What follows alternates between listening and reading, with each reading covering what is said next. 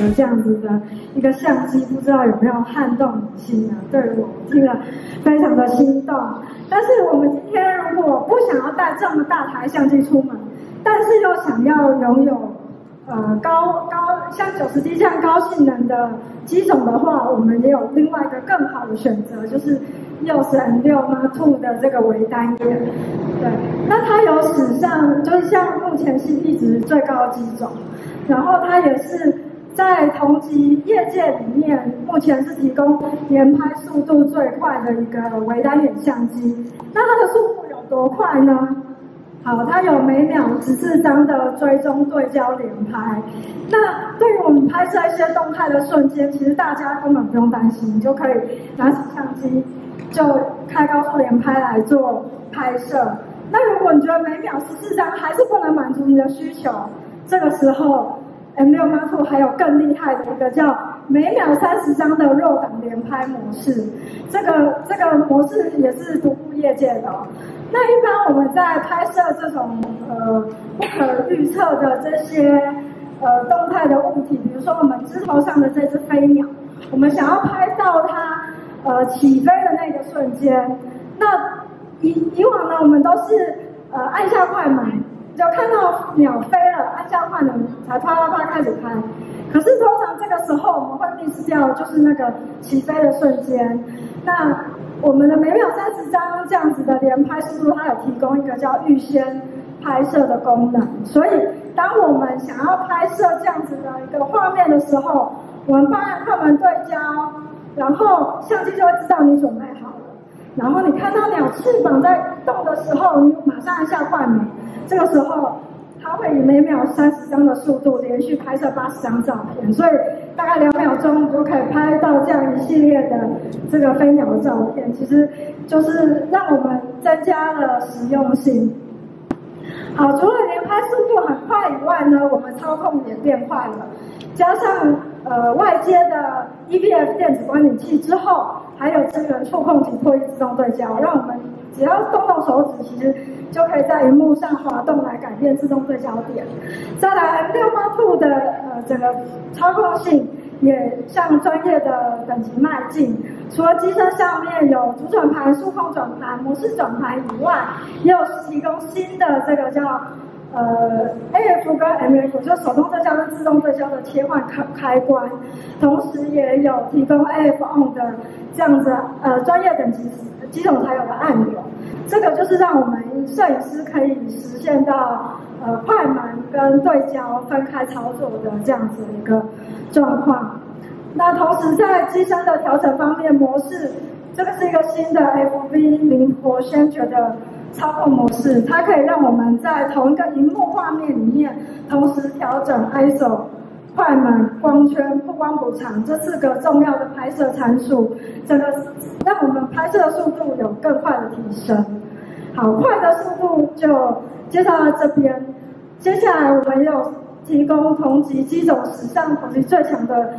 DF 自动对焦系统，它这个是一个全相位的对焦系统，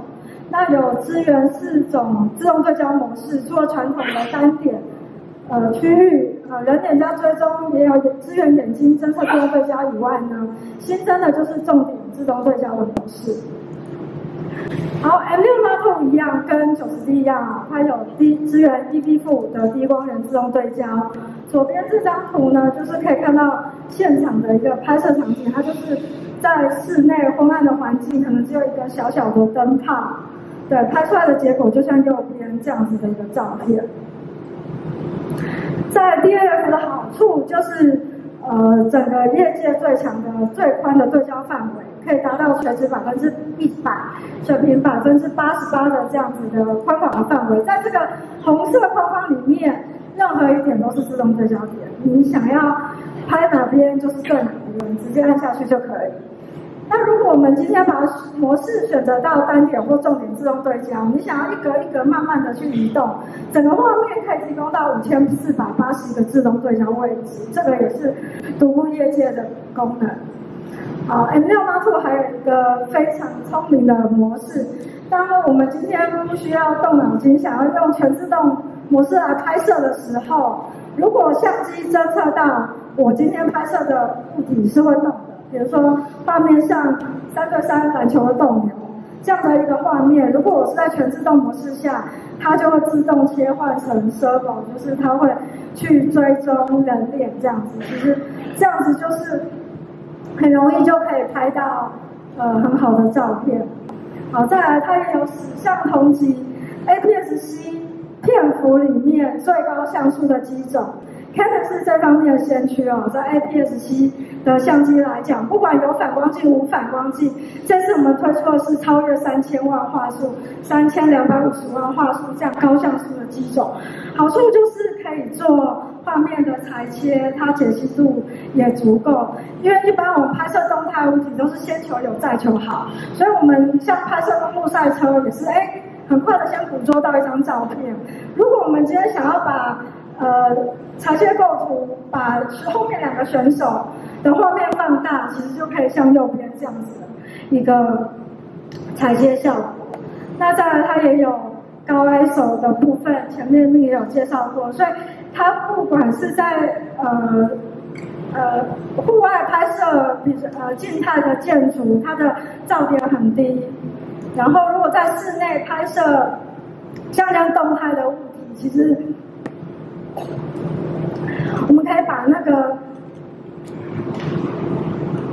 啊，不管在室内或户外，就是采用高 ISO 拍摄的时候，其实它都有一个很好的拍摄效果。录影方面一共提供四 K 五裁切三十格的影片，然后对焦方式也是用用 DF 的自动对焦技术来做一个流畅的对焦。好，最后呢？它也是史上同期具有最高扩充能力的这样子一个相机。小小的微单眼，除了原本的原生镜头以外，我们还可以支援原呃通过中间这个镜头转接环，可以支援呃我们原本 EF 跟 EF-S 超过六七十支以上的镜头，所以可以扩充我们的拍摄能力。今天我们要望远还是要广角，其实有更多的摄影的表现。然后这样的机种，其实呃，虽然它体积小巧，但是大家功能强大。大家会不会很好奇它到底售价多少呢？现在就为大家来介绍。好，那 M 六八座的单机身，两万四千九百元的价格。那如果搭配单镜组十五四五的话，它是两万八千九百元的价格。如果我们今天搭配旅游镜是八一五零的话，它是三万六千九百元的价格。那除了这个标准的镜组以外，就是一样九六十七在器材展同步开卖，那就是首购里有多送一颗电池。之外呢，我们台湾这边有推出限量的组合，右边呃左边这一组是十一二二是广角的，就是。风景镜，如果大家今天买妈妈兔是想要拍摄风景的话，其实可以直接选择三万三千九百元十一二的这个镜。那如果我们今天想要有呃像全幅相机这样拍摄的效果的话，可以选择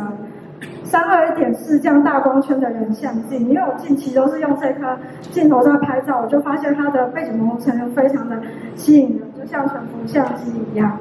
所以三二点四的组合是三万多千九百，我这边就提供这边为大家介绍，谢谢。好的。